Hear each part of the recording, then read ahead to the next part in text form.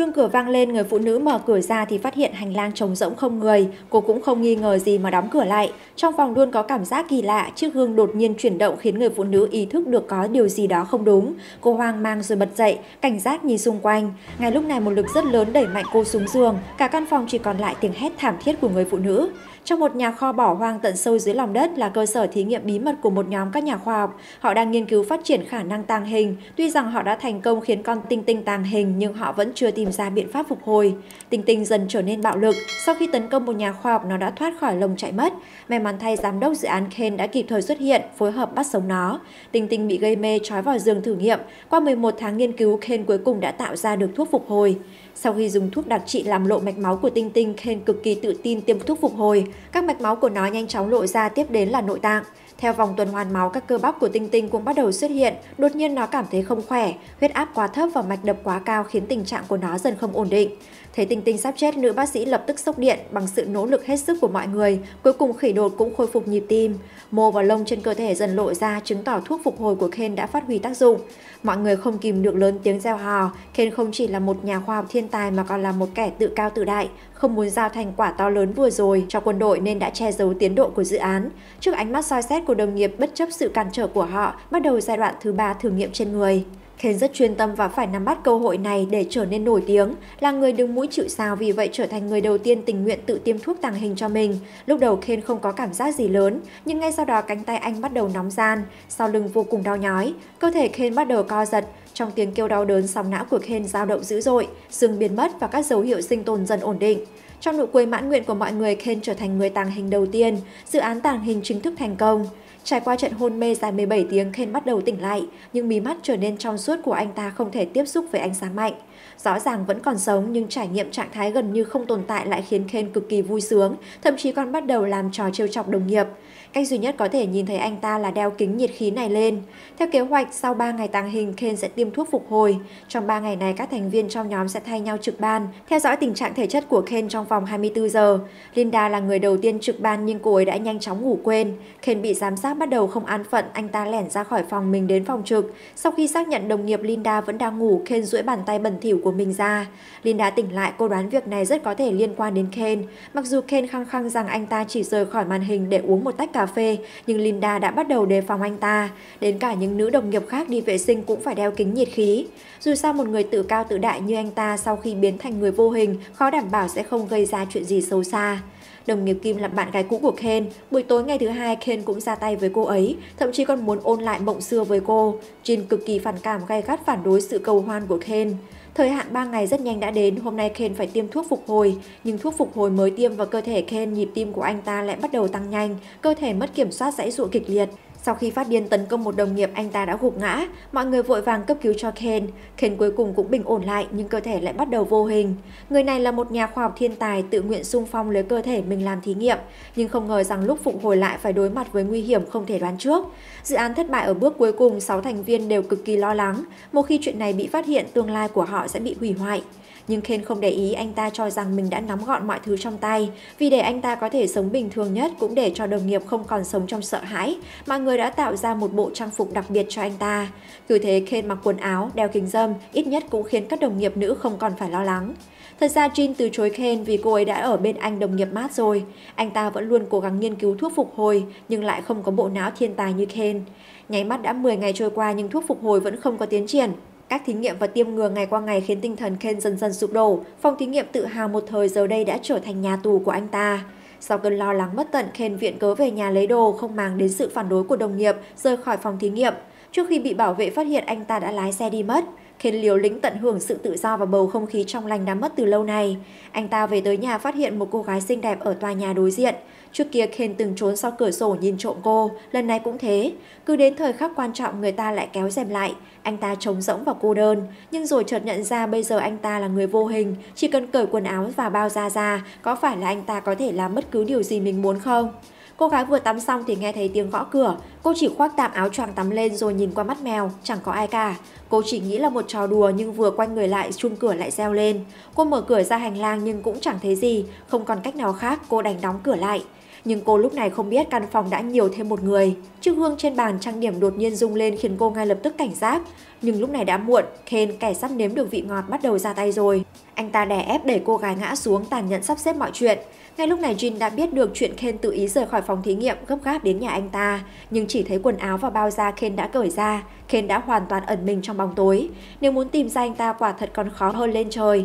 Lúc này ở tòa nhà đối diện, Ken đã chút giận xong cũng phát hiện Jin đang ở trong nhà mình. Anh ta rửa mặt nhìn bản thân trong gương đã biến mất trong tích tắc, những suy nghĩ xấu xa lại xuất hiện trong đầu. Đồng thời lúc này toàn bộ các thành viên trong phòng thí nghiệm đã chuẩn bị xuất phát, họ cần phải đưa Ken quay về trước khi có người phát hiện ra. Sau khi mọi người đã sẵn sàng, Ken lại xuất hiện, nói mình chỉ về nhà lấy một chút đồ dùng cá nhân mà thôi. Nhưng mỗi từ anh ta nói ra tất cả mọi người đều không tin tưởng.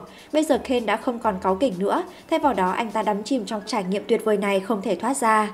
mát hết lần này đến lần khác suy luận tính toán Ken đều hy vọng không thành công. Vì để có thể tiếp tục tự do, Kane đã sử dụng sự khéo léo của mình. Nhân lúc đồng nghiệp không hề chuẩn bị trước, anh ta đã nhầm một đoạn video cũ vào camera giám sát, rồi nghênh ngang vinh váo ra khỏi phòng. Video anh ta đang ngủ sẽ không khiến người khác sinh nghi. Kane dùng cách hoán đổi vị trí thuận lợi đi ra bên ngoài. Lần này người anh ta nhắm vào là bạn gái cũ, Jean. Không ngờ lại phát hiện người bạn trai cô ấy luôn nói tới chính là Matt. Ken tuyệt vọng đập vỡ cửa sổ nhà mình rồi bỏ đi. Giác quan thứ sáu của phụ nữ giúp Jin đoán được rằng Ken đã từng đến đây. Cô ngay lập tức gọi điện thoại hỏi đồng nghiệp ở phòng trực. Nghe thấy Ken vẫn đang ngủ ở phòng thí nghiệm, Jin Jin chỉ có thể thất vọng cúp máy. Vì sự thay lòng của Jin, Ken dần trở nên bạo lực, thậm chí còn ra tay với cả chú chó sủa mãi không ngừng. Linda, người chịu trách nhiệm chăm sóc những con vật này ngày hôm sau đã phát hiện sự bất thường này.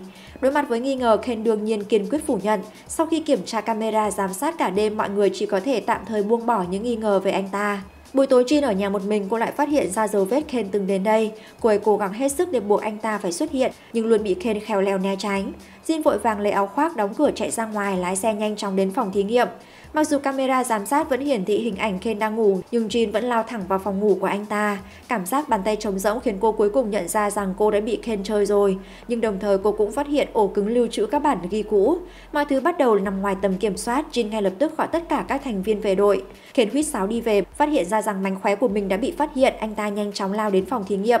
Ngay lúc này Jin nói với mọi người cô ấy và Matt sẽ cùng đi báo cáo chuyện này với ủy ban, dù bị phạt nặng còn hơn để Trung Quốc, Nhật Bản làm loạn.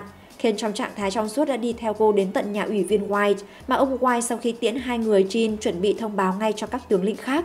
Nhưng đã quá trễ, Ken sớm đã ra tay với đường dây điện thoại dẫn ông White đến hồ bơi, bất ngờ tấn công giết người diệt khẩu. Ngày hôm sau, Jin vẫn chưa nhận được tin tức gì, cô gọi điện cho ông White. Sau khi biết được ông ấy đã bị đẩy xuống bể bơi đêm qua, lưng cô bỗng lạnh toát.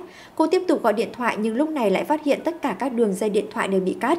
Khi cô muốn ra ngoài, bọn họ lại phát hiện ra rằng mật khẩu của thang máy cũng đã bị thay đổi. Sau khi tìm người điều tra mới phát hiện chính Ken đã can thiệp vào mật khẩu thang máy, mà căn phòng của Ken chỉ có quần áo và bao da. Mặt khác, mọi người hiểu rằng họ chỉ có thể dựa vào kính nhiệt khí, nhưng lại không tìm thấy bất kỳ dấu vết nào.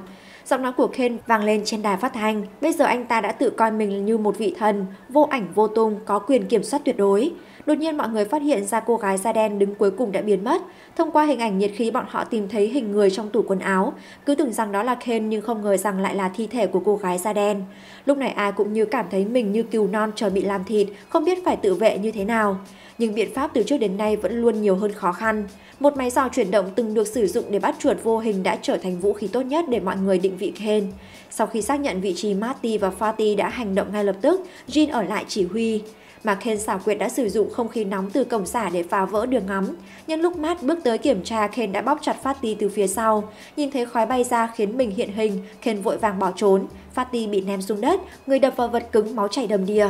Trong lúc hỗn loạn, ống dẫn ga nóng bị đứt ra, nhiệt độ nóng lên tỏa ra bốn phía khiến kính nhiệt khí không thể xác định được chính xác vị trí của Ken. Matt đã hết đạn, bèn lợi dụng khói từ bình chữa cháy, anh đã nhìn thấy bóng dáng đang di chuyển của Ken. Hai tình địch sau khi buông những lời cay nghiệt bắt đầu cứng đối cứng. Kết quả tất nhiên là Ken đã chiến thắng với ưu thế tuyệt đối của mình. Vì cứu bạn trai Jin lao đến kéo Matt ra, Curly và Linda nhân cơ hội giải cứu Fatty.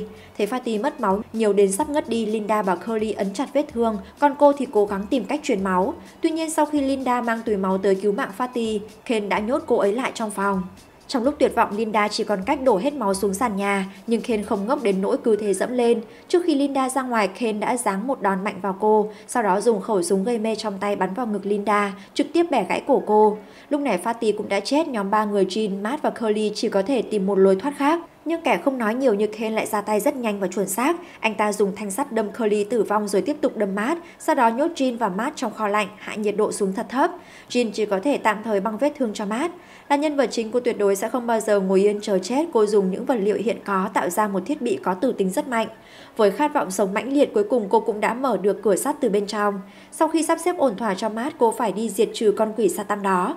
Còn Ken lúc này đã thành công sử dụng các nguyên liệu hóa học khác nhau, tạo ra bom tự chế với uy lực cực mạnh, đồng thời cũng thiết lập xong thời gian đếm ngược. Chỉ sau 5 phút toàn bộ phòng thí nghiệm này sẽ bị phá hủy, tất cả dữ liệu thử nghiệm cũng sẽ theo đó biến mất. Ken lòng đầy vui sướng tới thang máy chuẩn bị rời khỏi đây thì bị Jin đột nhiên chạy tới đốt cháy. Lớp bao da của Ken bốc cháy khiến anh ta chỉ có thể quằn quại đau đớn lăn lộn trên mặt đất. Anh ta hét lên thảm thiết, đứng phát dậy cố gắng xé bỏ các phần bao da còn lại trên cơ thể rồi lại biến mất trước mặt Jin. Để Ken mất khả năng tàng hình, Jin bật bình chữa cháy lên. Mặc dù Ken đã không thể ẩn nấp được nữa nhưng Jin vẫn bị anh ta tấn công từ phía sau. Trước sự bạo lực của Ken, Jin không có sức mạnh để chống trả. Vào thời điểm quan trọng, Matt từ phía sau xuất hiện cho Ken một cú móc thật mạnh. Thiên muốn đánh trả nhưng thật không may anh ta bị điện giật và ngã xuống đất. Lúc này chỉ còn 27 giây trước khi vụ nổ xảy ra, hai người chỉ có thể thông qua trục thang máy để chạy ra ngoài. Khi thời gian đếm ngược kết thúc, một tiếng nổ dữ dội vang lên, ngọn lửa kinh hoàng nhanh chóng lan xuống hầm thang máy. Một thang máy mất kiểm soát đã lao thẳng vào hai người. Hai người may mắn thoát nạn vốn tưởng rằng mọi thứ đã kết thúc, nhưng không ngờ rằng Ken còn sống, anh ta nắm chặt lấy Jin. Hai người nặng nề rơi xuống khiến thang máy vốn đã đổ nát lại bắt đầu tuột xuống. Lấy nụ hôn cuối cùng làm lý do Jin tìm cách ổn định bản thân sau đó đá mạnh xuống. Ken gào thét rơi xuống biển lửa dưới chân.